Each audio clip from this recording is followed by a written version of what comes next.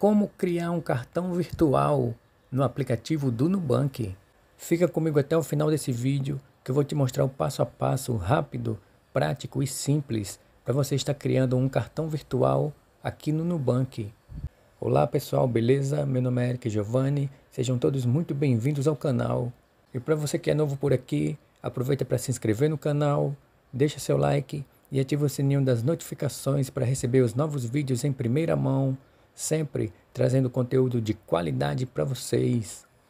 Olha só, pessoal, para você estar tá criando um cartão virtual aqui no aplicativo do Nubank, o primeiro passo aqui na tela principal do aplicativo, você vai clicar nessa opção Meus cartões, vai ser direcionado para essa próxima tela, você vai clicar nessa opção Criar cartão virtual.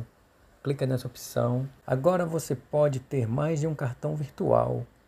Tem um cartão para suas assinaturas e aplicativos, como serviços de streaming, delivery ou carteiras digitais, e outros que você pode excluir logo após uma compra, se quiser.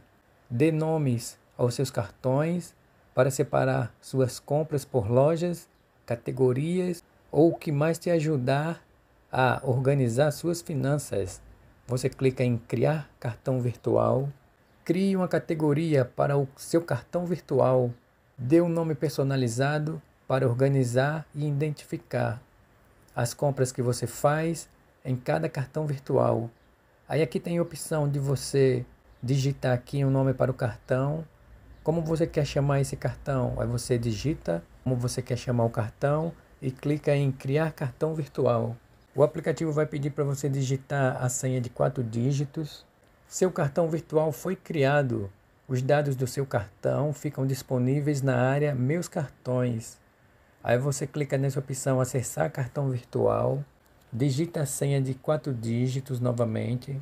E aqui, pessoal, nessa tela vai aparecer todos os dados do cartão que foi criado: o nome do titular do cartão, o número, a validade do cartão e o código de segurança do cartão. Prontinho, pessoal. Cartão virtual criado aqui no aplicativo do Nubank. Espero ter ajudado. Uma dica rápida, bem prático e simples de estar tá fazendo. Para você que gostou desse vídeo, deixa seu comentário, compartilhe esse vídeo com mais um amigo. E valeu pessoal e até o próximo vídeo.